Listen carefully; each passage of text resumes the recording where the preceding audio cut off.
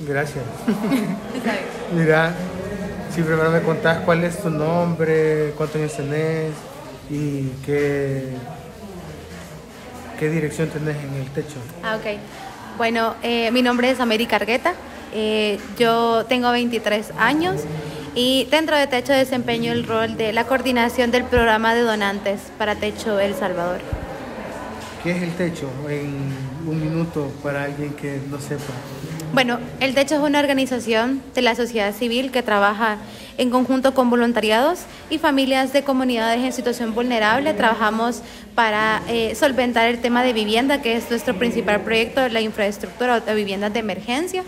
Eh, y trabajamos bueno, con estas comunidades, no solamente en el tema de vivienda, como lo mencioné anteriormente, sino también por otros proyectos que apoyen al fortalecimiento de estas. ¿De qué trata el evento de ahora?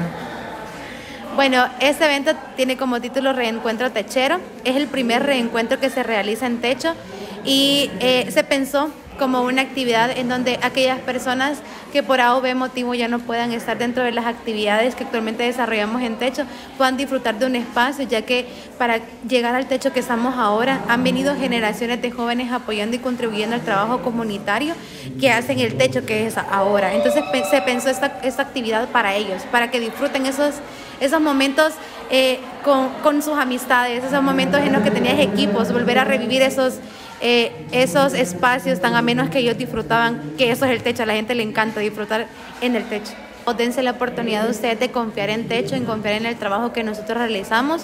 Esos jóvenes dejan el corazón eh, en cada una de sus actividades y créanme que por mínimo que sea el aporte que ustedes den, eh, contribuye enormemente. No solamente estamos hablando de temas de, infraestructura, como lo mencioné, temas de vivienda, sino también trabajamos para bibliotecas comunitarias, para capacitación de talleres, para mesas de trabajo. Trabajamos para muchas cosas y eso es un aporte que para nosotros representa una nueva apertura de una mesa de trabajo, una nueva comunidad que podamos visitar y abordar.